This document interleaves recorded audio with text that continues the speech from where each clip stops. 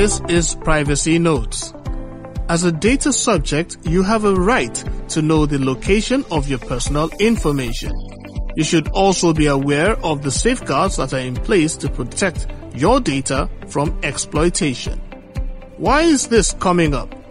Because from time to time, organizations and government agencies will transfer data between themselves or between servers.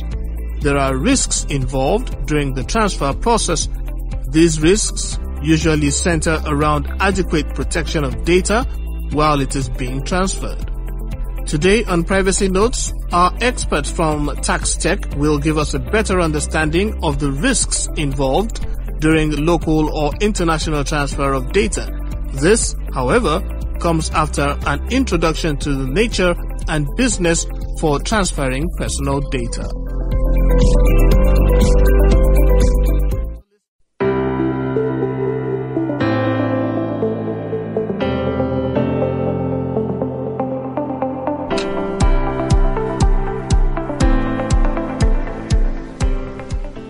Welcome everyone. Welcome to Privacy Notes, the podcast brought to you by Taxaide Technologies Limited, TaxTech in collaboration with the NDPR Academy. Remember that TaxTech is your plug for all things data protection compliance, cybersecurity, and software development services. Can you believe that we're already on episode 11 of Privacy Notes, the podcast? If you've been with us from the very beginning, thank you. We appreciate you. And if you just joined us for the first time, welcome, welcome, welcome. We are glad to have you. We discuss all things data protection compliance in Nigeria and globally on this podcast. Today we are joined by Uwem, our data protection associate at TaxTech. Hi Uwem, welcome. Hi Rena, thank you. It's my pleasure to be here today on today's episode of Privacy Notes podcast. Thank you for having me. Fantastic. So today we'll be discussing about the transfer of personal data and its implications we would be examining the conditions that must be met by an organization that wants to transfer the personal data both locally and internationally. We'll take a short break and we'll be right back with details.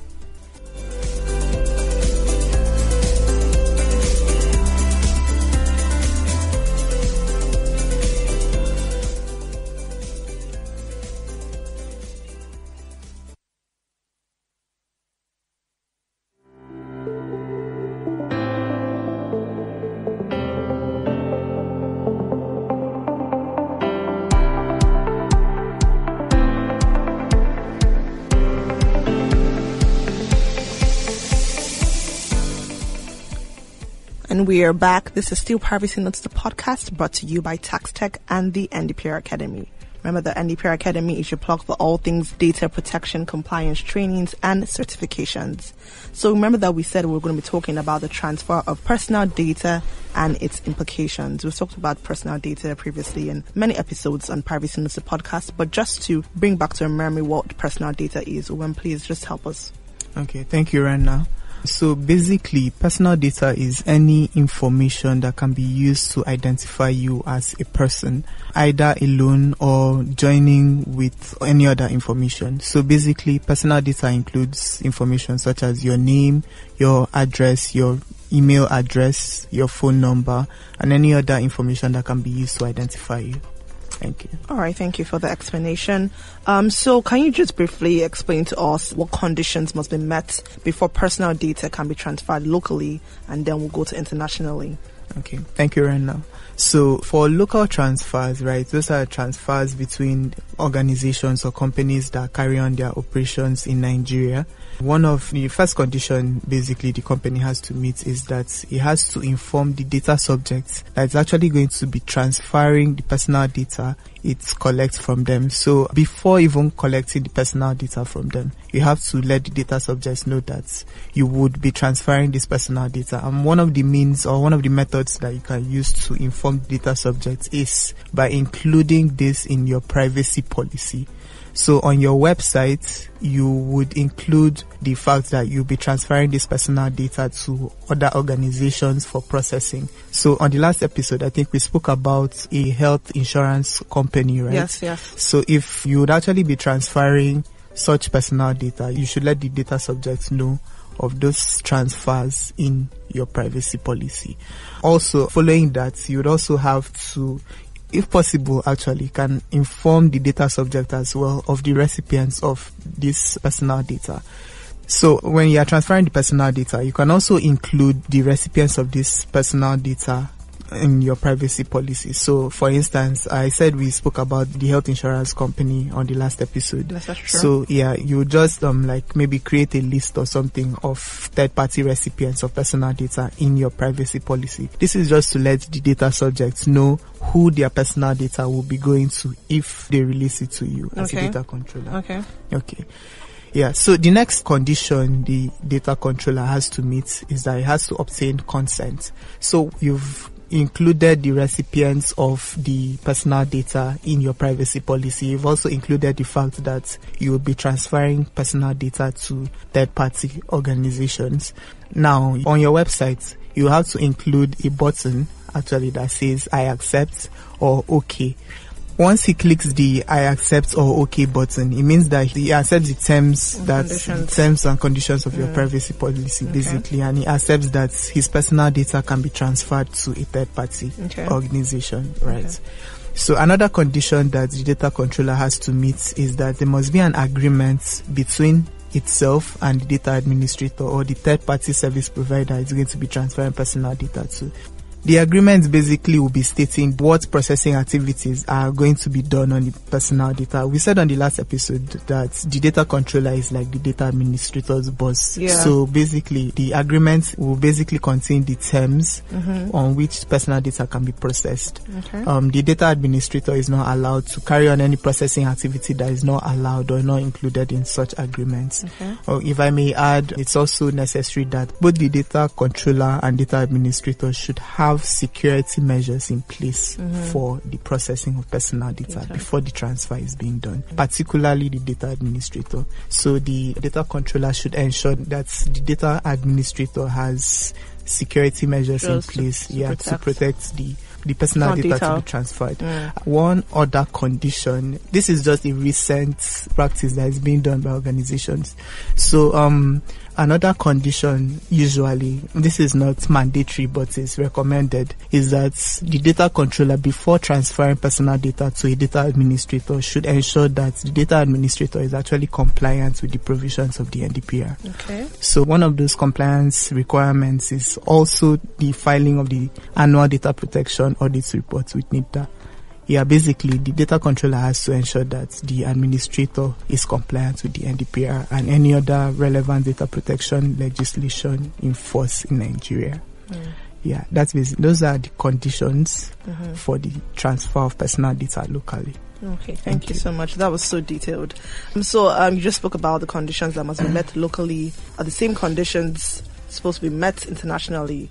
Um, no, the NDPR is actually explicit about the conditions that are to be met if a Nigerian organization, a Nigerian data controller is transferring personal data to a foreign country. So the NDPR actually provides for express conditions that should be met by a Nigeria data controller that wants to transfer personal data overseas to a foreign country, right? So the NDPR actually provides for an adequacy decision. An adequacy decision is basically a decision by NITDA in conjunction with the Attorney General of the Federation, which determines that the foreign country that the personal data is going to be transferred to has an adequate level of compliance with data protection regulations. Also, if I may mention, NITDA actually has a white list of countries which have been deemed and approved to be secure Okay, or to sorry, be just compliant one with. second there. What's the white list? Let's A know. list that is white. okay. Okay, so the white list is basically a list of countries that have adequate data protection, compliance, and security measures in place for the protection of personal data. Okay. Yeah. So, like, where can you get this list actually? Okay, you can visit the NDPR Academy website. That's on www.ndpracademy.ng. They have a list as released by NITDA. You can also look at um, the NITDA website to um, confirm or find out the countries that are on the white list. Okay. Okay. So, um, like I said, one of the conditions for the transfer is that the country must have an adequate level of data protection in place. This is going to be determined by NITDA working with the Attorney General of the Federation. Another condition for this transfer is that the country's legal system must actually have consideration to concepts such as the rule of law. Sorry, I'm about to go a bit legalistic. so, yeah. so the country's legal system must actually have considerations for the rule of law as well as fundamental human rights. Another condition for the transfer is that there must be a supervisory body or a regulatory body that regulates personal data in such country. You know the way Nigeria has NITDA as a regulatory body for data protection. Mm-hmm. Such foreign country where the personal data is going to be transferred to must also have a regulatory body. Okay. Okay, so those are some of the conditions for transfer of personal data to a foreign country. Okay, so we'll take a short break and when we come back, we'll discuss if there are exceptions to these conditions that UM just mentioned.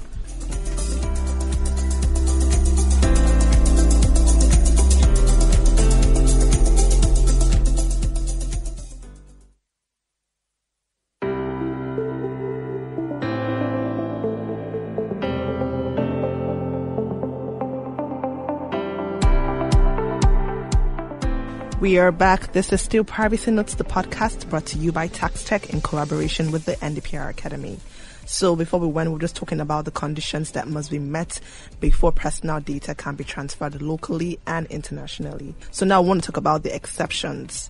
So we know that to every general rule, there's an exception. So um, are there exceptions to these conditions?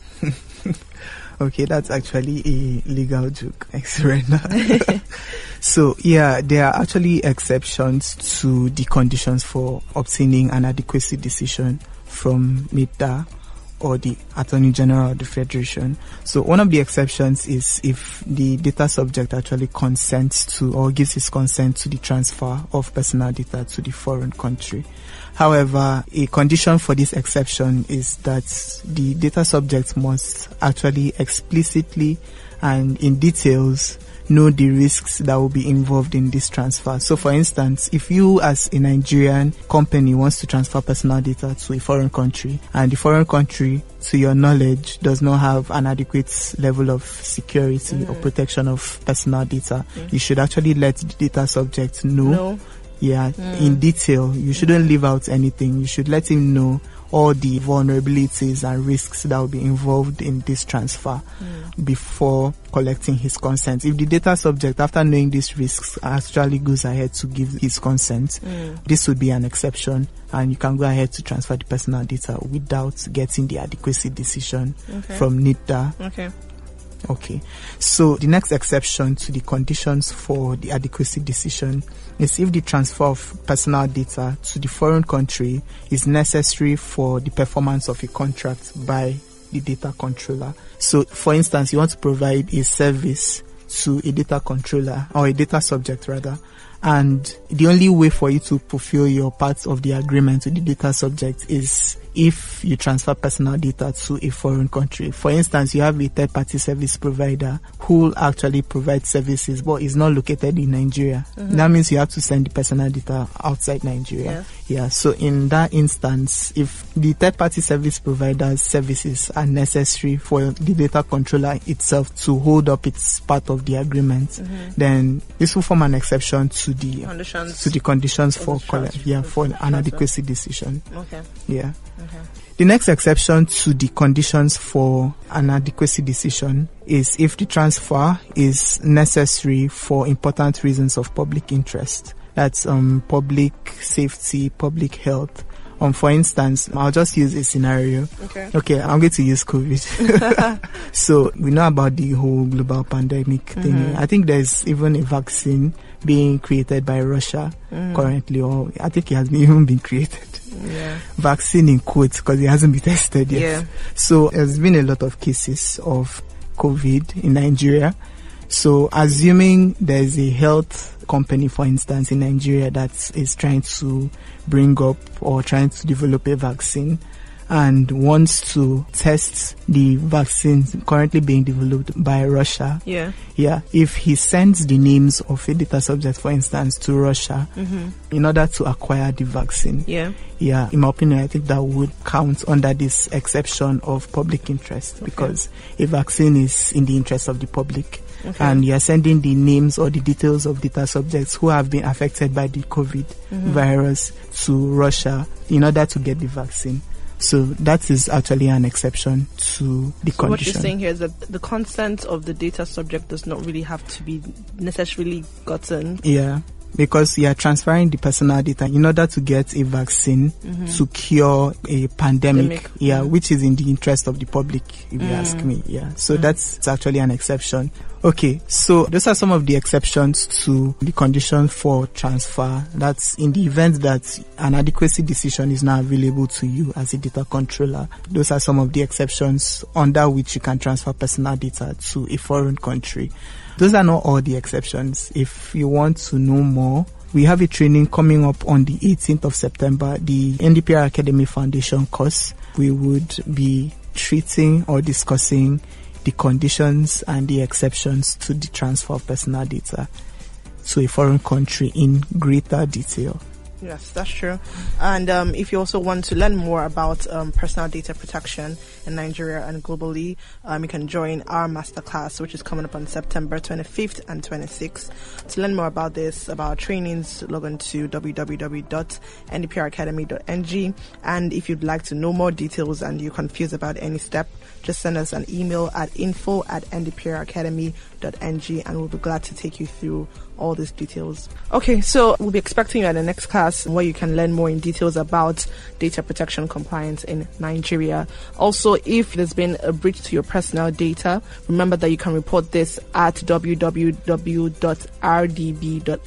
www.rdb.ng. Never let a data breach go unnoticed. So RDB is report data breach. That's the platform to report any breach to your personal data. Till next week, I'm Urenna and Uwem. Thank you very much.